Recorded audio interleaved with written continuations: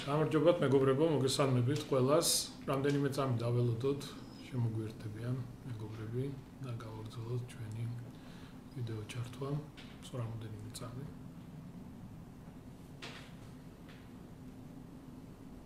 შეგვიძლია ხო დავიწყოთ. კიდევ ერთხელ მოგესალმებით. დღეს ჩემთან ერთად იმყოფება ჩემი მოადგილე ანდრეი ბასილ ანდრეა ბასილაია და ასევე თბილისის სერვისის ხელმძღვანელი დავით პაჩულია. დღევანდელი ჩვენი ვიდეო ჩართვა ეხება თითოულობას, რომელიც მარტის თვეში ქონდა და პირდაპირ შეიძლება ითქვას, რომ თბილისის ისტორიაში მარტის მარტის თვეში ასეთი უხვინალე თითოულის სახით არასდროს არ ყოფილა თბილისის ისტორიაში და გარკვეული პრობლემები შექმნა განსაკუთრებით ეს არის შემოერთებული სოფლები, წნეთი, კოჯორი, მიმდებარე ქუჩები, ჩიხები, შესახვევები და ასე შემდეგ. თუმცა რა თქმა უნდა სამსახური 24 საათიან რეჟიმში რეჟიმში მუშაობდა და ყველაფერს აკეთებდნენ იმისთვის რომ მაქსიმალურად გზები ყოფილიყო, განსაკუთრებით ცენტრალური გზები ყოფილიყო სუფთა, საზოგადოებრივი ტრანსპორტის უპრობლემოდ ქონდა გადაადგილების შესაძლებლობა და რა თქმა უნდა ეს მოახერხეთ, თუმცა ქონდა გარკვეული უბნები, სოფლები, სადაც საზოგადოებრივი ტრანსპორტი ვერ ახერხებდა გადაადგილებას თითოეულობის გამო. თუმცა სამსახური მუშაობდა 24 საათიან რეჟიმში, მიმდინარეობდა წმენდის სამუშაოები, ტექნიკური მარილის დახრა, მაგრამ 6 დღის განმავლობაში, 5 დღის განმავლობაში ფაქტურად გადაუღებლივ თოვდა. მე მინდა დავავალო ანდრეას და დავავალო ასევე დავით პაჩულიას თბილისის რომ აი ეს ტექნიკური მარილი რომელიც იქნა დახრილი ქუჩებში, სხვადასხვა ლოკაციებზე, უკვე ამინდებიც გამოდის და დაიწყოთ ამ ტექნიკური მარილისგან ქუჩების დასუფთავება, დაწმენდა და ნუ ამას გარკვეული დრო დაჭირდება ცხადია, მაგრამ მაქსიმალურად ყველაფერი გავაკეთოთ იმისთვის, რომ რაც შეიძლება ძალიან სწრაფად იყოს გაწმენდილი და გასუფთავებული. კი ბატონო. დაახლოებით 6000 ტონა მარილი იქნა დაყრილი ამ პერიოდში და აუცილებლად მიხედავთ ქუჩებს დაურიცხავთ და კიდევ კიდევ არის დღევანდელ დღეს დარჩენილი ჩიხები კოჯორში და მამონტიან აა სოფლებში და იქაც უკვე პარალელურად მუშაობთ და ამინდიც უკვე ხელს უწყობს რომ ბოლომდე ყველანაირი ქუჩა გავხსნათ. ძალიან კარგი. დავით, დღესაც მიმდინარეობს ხო სამუშაოები, გაწმენდითი გარკვეული ქუჩები პრობლემები არსებობს, ხო? კი, დღესაც რჩება პრობლემები, ასე ვთქვათ, მეორად ქუჩებზე და ჩიხებზე, სადაც ღამე ინარჩუნებს მინუს ტემპერატურას. შესაბამისად დღის განმავლობაში იწმინდება, მაგრამ ღამე სადღაც 30 სანტიმეტრი ყინულის საფარია დარჩენილი და ვერ იწმინდება ბოლომდე სპეციალური ტექნიკა ჭირდება და ასე თქვა ნელ-ნელა მიუყვებით და ყველაფერს გავხსნით.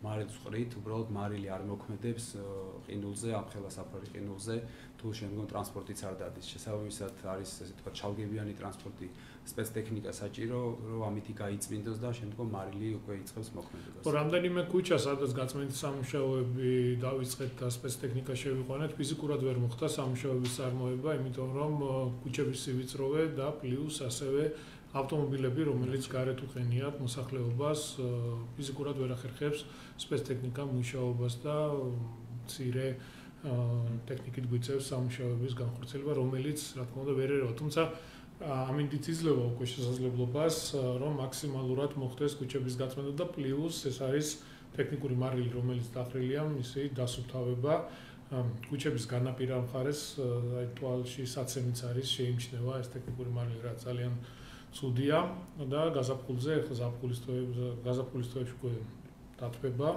კარგი ამინდები არის პროგნოზით და მაქსიმალურად უნდა გამოვიყენოთ ეს დღეები. და დავიწყოთ ქუჩების დასუფთავება დაწმენდა და შემდეგ მორეცხვითი სამუშაოები. დავიწყეთ უკვე სადაც თოვლის საფარი არ არის, გაწმენდითი დახოთი სამუშაოები დაწყებული გვაქვს. ვიყვებით ნელ-ნელა და თოვლის სადაც გადინება პლუს ვაგრძელებთ თოვლის წმენდის სამუშაოებს და ასე თქვა დახოთის სამუშაოებს. ძალიან კარგი, ძალიან კარგი, რა თქმა უნდა, ჩვენც ჩავერთვებით ამ ღონისძიებაში და ჩვენც მივიღებთ მონაწილეობას, რომ ჩვენს თანამშრომლებთან ერთად ხელი შევუწყოთ და ჩვენც დავეხმაროთ ამ ქუჩების დაგვაში, დასუფთავებაში. ეს ძალიან კარგია მხარდაჭერა თანადგომა ერთმანეთის ძალიან ბევრი ადამიანი იყო ჩართული პოლის გაწმენდის სამუშაოებში. თავისი საცხოვრებელი სახლის წინ ბევრი ადამიანი ასუფთავებდა და ამისთვის მინდა მათ ძალიან დიდი მადლობა გადაუხადო.